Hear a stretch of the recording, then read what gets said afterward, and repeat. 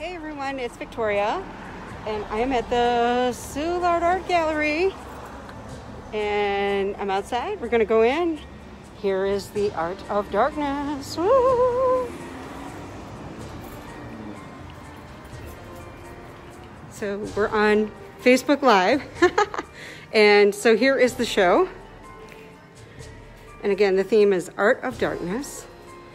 And we just have some really, really fun, creative pieces. This one, the color is so brilliant. I'm giving you just a taste of the show here. Fun lamp, look at that. That'll look great in somebody's living room. Annie Doll, I think that one's for you. This is really entertaining. I didn't see this before. These little beasties. This, I have to get back a little bit, is quite a piece there and won the Award of Excellence. You got all those horror icons in that photo, I mean, in that piece. That's an acrylic painting. It's magnificent. So here's my stuff. Not to brag, okay. This is very hard to see, but that's uh, the cover of The Long Moonlight that I redid. And uh, that is me under blue lighting. And then this will be the piece above will be the cover of Creating Anna, and that is model Jacqueline um, and on a stairwell at Oakland House Museum. And then this piece just took forever, but it was really, really well worth it. And it is the La Catrina, uh, Day of the Dead piece. And I had started the headdress last year and the dress and actually wore part of that for Halloween and it just really needed a whole total rehab.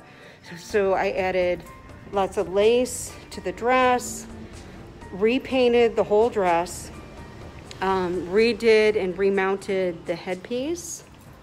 And there's the crow up top.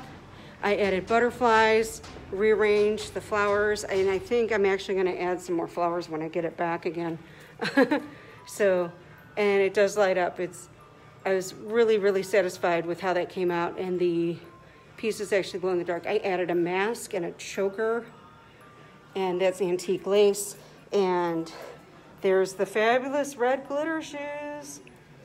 And I redid the bustle in the back and again, repainted all of that. It had the black print, but I added the day glow paints. And yeah, the wig I, I bought, obviously. But uh, the mask, I added all the flowers and the butterflies too. So I was really, really satisfied. So, and the shoes again. Shoes are really cool. The bottom side has gold on it. Ah, and skeletons, woo! Kind of spooky. Um, so then we have these wonderful ravens. These, it's brilliant purple. I love this piece too, Rob's piece. Oh, he does this digital photography. This is just creepy. yeah, creepy. Uh, love this with the, like a haunted, like cowboy creature coming through. It's called Interdimensional Traveler. And I do, I do enjoy that quite a bit. That's a great piece. One of my other favorite pieces is just, look at this moon. Another digital one by Bob. That's, if you are scared or deaf, bats, love it, that's fun. This, this cross has interchangeable blocks. Really very, very interesting. Ooh, I did not see this. This is, oh, that's from Garrett. He's one of the resident artists. He's been here for quite a while. And that is really, I love it. It's so creepy.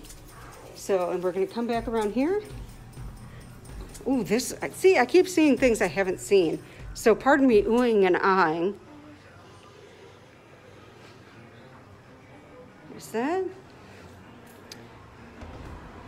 This one up top too, this is another favorite of mine. Just love how they took that platter and added a Day of the Dead face. oh, this is so cool. Nice drawing, textured. Nice. Oh, Jen Gus. I love her art. She's a great photographer, a great assemblage artist.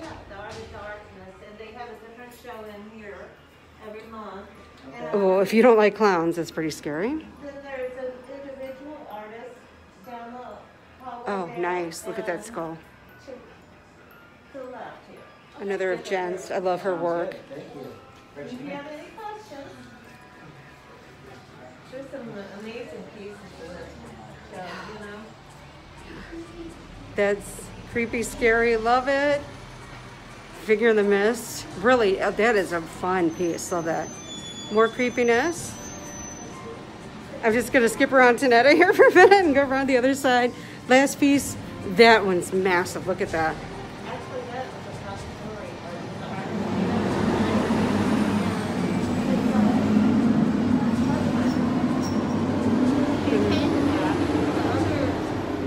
He was a, a designer, and he designed a dress out of that. Wow. So, you know, and it was an amazing dress, too. Yeah. You know? Making use of the art. I love it.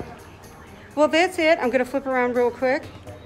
And uh, so, yeah, I'm in the gallery and go over. And I'll shoot some stills and post them later. Thanks for watching. Bye.